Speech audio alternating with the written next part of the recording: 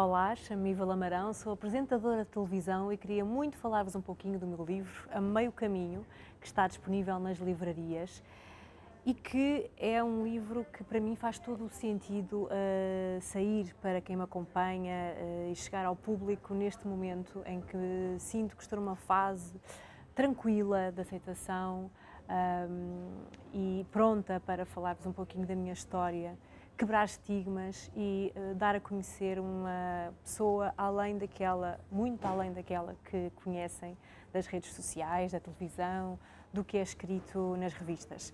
Logo aqui na capa, uh, este livro diz o que é que, o que, é, que é este, este relato, esta narrativa uh, que eu falo, que é uma viagem sem mapa pelas experiências, memórias e aprendizagens de uma menina que se construiu mulher. E para mim é muito especial este livro, porque é muito difícil falar de mim e, sobretudo, é muito difícil baixar os muros uh, que eu tenho levantados há muitos anos e que me protegem a mim, de certa maneira, e à minha família. Uh, e falar abertamente de muitas das vivências, uh, algumas que me tornaram o sorriso mais brilhante, outras que o tornaram mais tímido ou o apagaram. Uh, mas achei que era importante fazê-lo porque estaria a dar também o exemplo e a mostrar a tantas outras raparigas que me acompanham que, com sonhos, uh, mulheres também a meio caminho e até homens que me admiram, uh, que eu sou igual a todos, todos eles, tantas outras mulheres, tantas outras jovens e que sobrevivia a esses, essas fases boas e menos boas e que estou aqui eh, pronta para continuar ainda mais meio caminho. E para este prefácio eu convidei uma, uma pessoa muito especial, que é muito especial, não porque sejamos amigas de longa data, mas porque é, é uma mulher que, que eu admiro, que é Clara de Souza. Eu admiro, como tantos de nós admiramos, como jornalista, como profissional que conhecemos e que entra nas nossas casas a dar as notícias uh, trágicas, infelizmente, nos últimos tempos, uh, mas que nos informa. E informa-nos de uma forma uh, corajosa, com confiança, com garra, mas sobretudo porque a Clara de Souza é uma mulher uh, com uma sensibilidade que eu fui percebendo muito semelhante à minha ao longo do, dos tempos.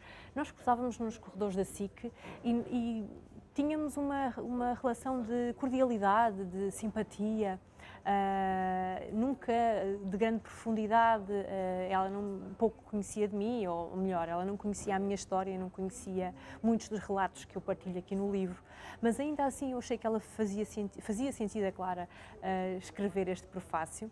Também porque temos um grande amigo em comum, que é o Lionel Simões, que começou por ser o meu cabeleireiro e ao longo dos anos tornou-se um grande amigo.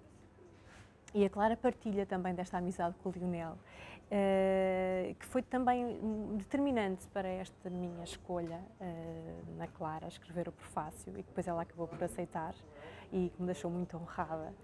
Uh, porque o Lionel é uma pessoa muito sensível e quem o conhece entende aquilo que eu estou a dizer. E só uma pessoa com uma sensibilidade semelhante poderia ter este, esta partilha de amizade com o Lionel, que é a mesma que eu tenho. Portanto, em algum ponto desta sensibilidade, eu e a Clara nos, nos encontramos e então eu, eu, achei que fazia sentido ela escrever este prefácio. E quando eu falo da sensibilidade, não falo uh, da parte emocional, uma pessoa sensível é, poderá ser interpretada como uma pessoa mais frágil emocionalmente, não tem nada a ver com isso. Tem a ver com uh, esta capacidade de entender o outro, esta capacidade de olhar o outro, uh, de ajudar o outro, de estar ali para o outro e partilhamos desta, desta sensibilidade até por esta amizade em comum.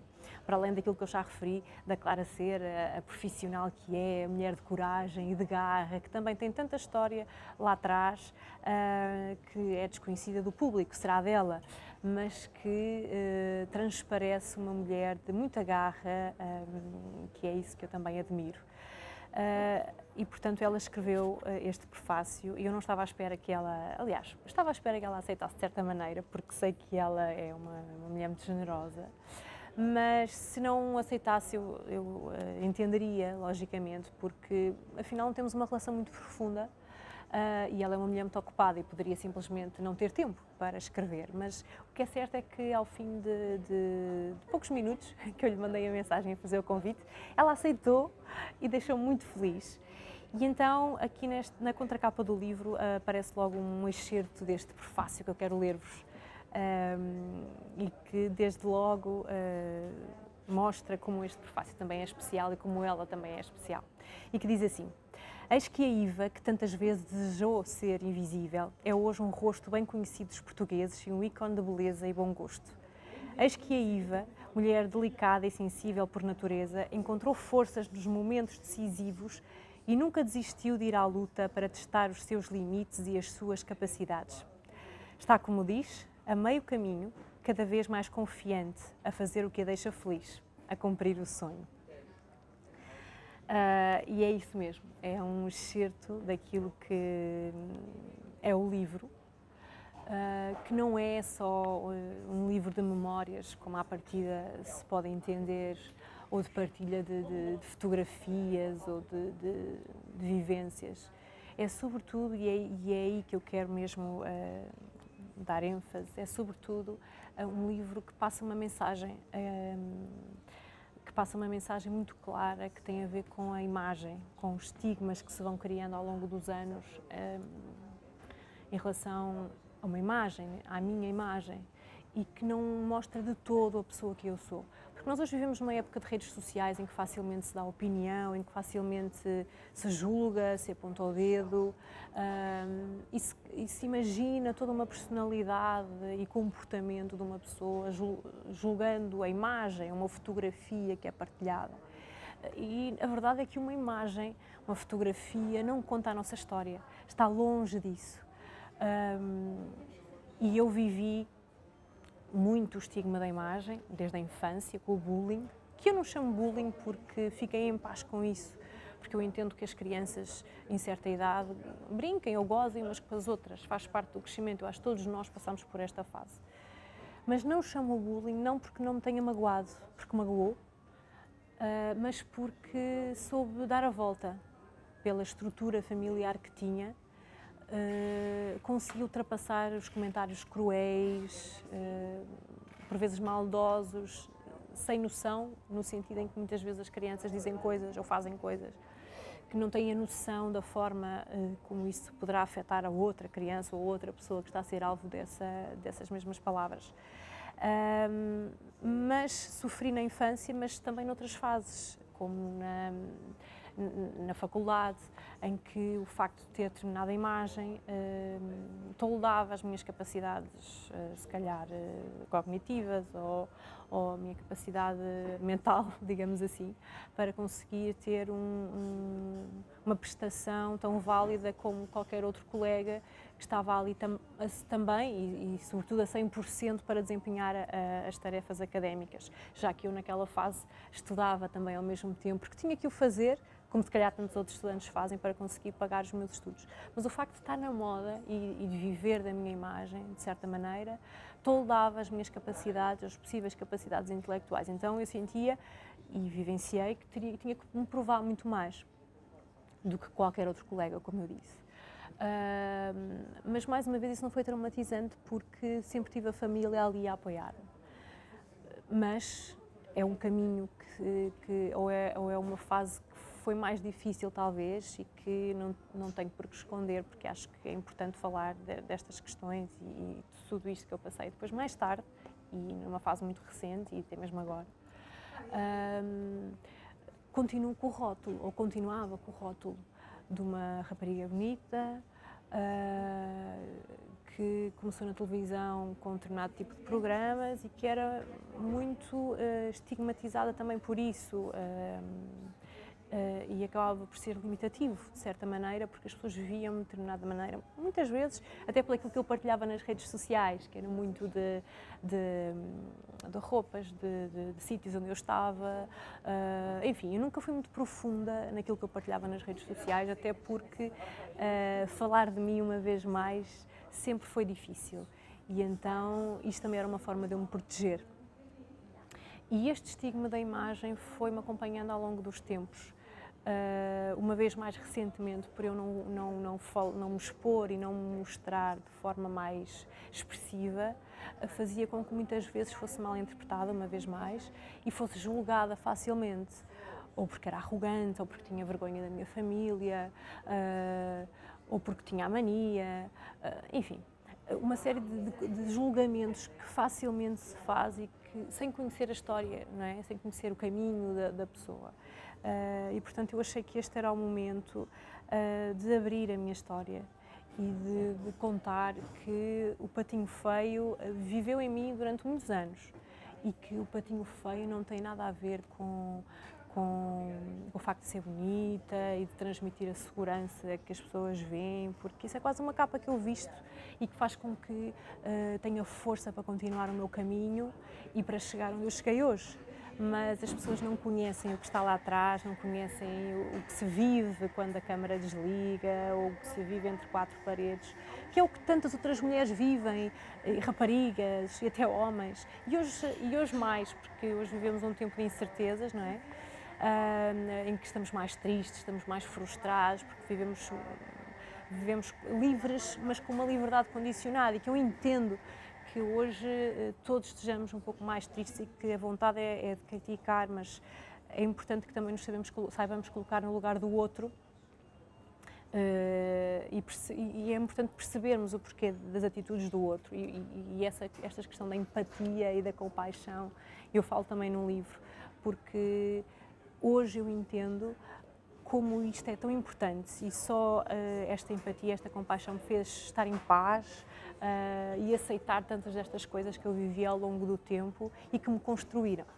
E eu vou contar então aqui um, uma passagem uh, do livro, depois gostava muito que lessem e que me dessem opinião nas minhas redes, nas minhas plataformas digitais, porque hum, esta é uma história muito pessoal como eu disse, mas que de certa maneira é uma forma de eu vos agradecer todo o carinho que tiveram comigo, para comigo ao longo dos anos, porque uh, este caminho não é só feito de críticas, também é feito de elogios e, portanto, eu achei que, que devia mostrar-me mostrar para vocês desta forma.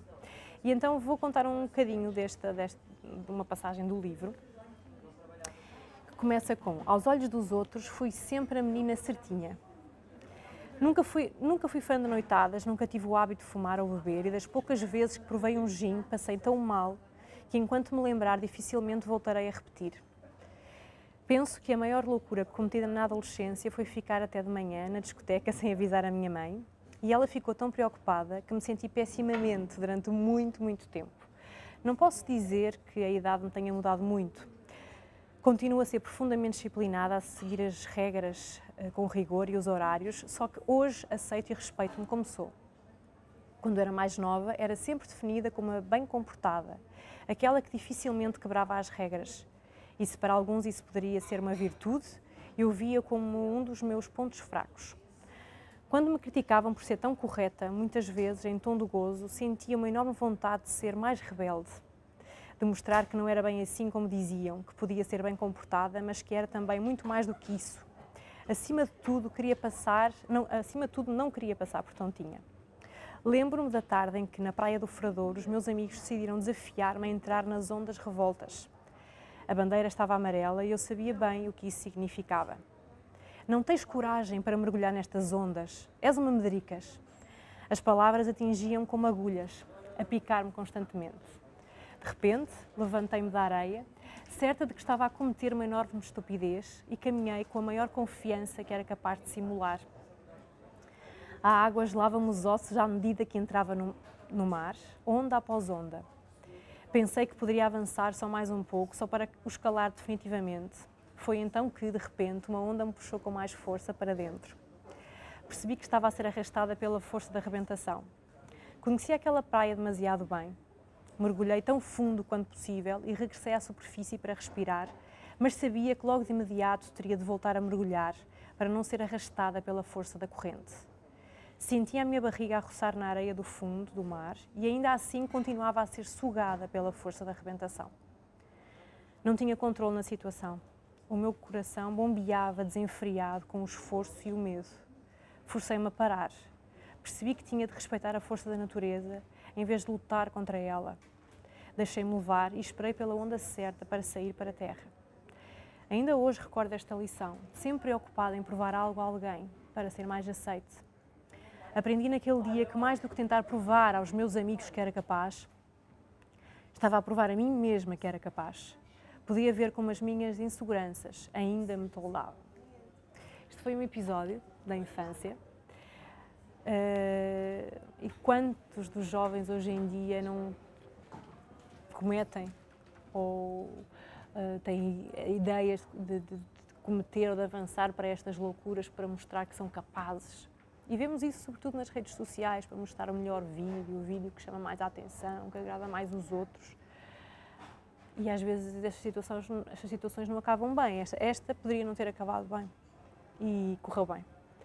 Um, e é uma de outros tantos relatos que estão aqui no livro e que eu quero que encarem não como um queixume ou com, como uma, um relato de uma história traumatizante, porque não é nada disso, é apenas um relato de memórias, uma narrativa desta construção que eu tive até hoje e que me faz ser a pessoa que eu sou hoje.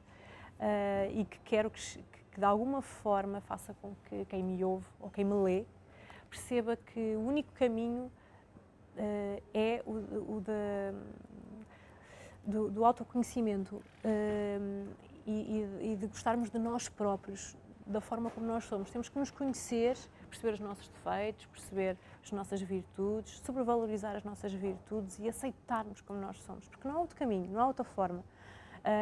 Eu poderia, às vezes perguntam-me o que é que poderias dizer a alguém que está a ouvir, alguma uma miúda, um, um rapaz que se calhar não gosta dele ou que se calhar está a passar por uma situação menos, menos boa.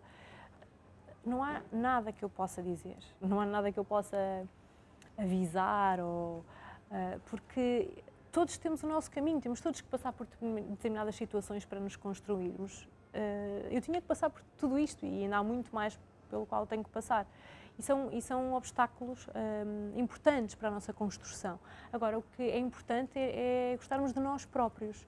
Uh, olharmos para o espelho e, e, vermos além do patinho feio ou, ou deixarmos de ver um, o patinho feio, porque há sempre um cisne ali. Uh, e somos nós que temos que o ver primeiro, porque somos nós que vamos determinar até a forma como as pessoas vão gostar de nós, a forma como as pessoas nos vão avaliar e até a forma como permitimos que isso aconteça. Uh, somos sempre nós que determinamos se gostarmos de nós. E este foi um caminho difícil e acredito que para muitas das raparigas e rapazes e mulheres uh, seja, mas somos nós que temos que dar este pontapé de saída para a aceitação e para uma vida feliz, porque no fim é, é o que todos procuramos, é a felicidade e cada um vai buscá-la um, onde acha que é melhor, ou à sua profissão, ou, ou ao meio familiar, ou, ou enfim, cada um realiza a sua felicidade ou encontra a sua felicidade das diversas formas, mas gostarmos de nós é tudo, é fundamental. Portanto, uh, é isso que eu também quero mostrar com, com, com, este, com estes relatos e com, com esta narrativa despida, como assim eu chamo, deste caminho. E queria terminar uh, a falar-vos, uh, a ler-vos, aliás, uma, mais uma passagem do livro, muito breve, uh, e este livro tem muitos momentos, muitos momentos que foram importantes para mim. E alguns foi difícil voltar a eles, foi muito difícil voltar a. Porque ao escrever eu, eu tive que viver novamente tudo isto. É impossível não voltarmos atrás e não sentirmos todas as emoções que sentimos. E, e confesso que foi difícil voltar a, a vivenciar tudo isto. Mas achei que fazia sentido e, este, e, e, ver este livro na minha mão e, e lê-lo e relê-lo, como já o fiz diversas vezes, mostra que faz todo o sentido, fez todo o sentido eu fazer esta viagem lá atrás. Então, eu termino uh, com mais esta, este relato do meu livro, que diz assim: Por detrás da menina que veio de Ovar, por detrás da mulher reservada e discreta, como alguns me avaliam, está outra mulher forte e de personalidade vincada que, apesar de não ter gostado de si em grande parte da caminhada, sabe o que quer e qual o caminho a seguir. Uma mulher que nunca deixou que a fizessem acreditar menos nos seus sonhos. Todos nós temos valor e um tremendo potencial para nos fazer valer neste mundo, mesmo que por vezes nos falta coragem para acreditar e para lutar por aquilo com que sonhamos e que nos faz felizes.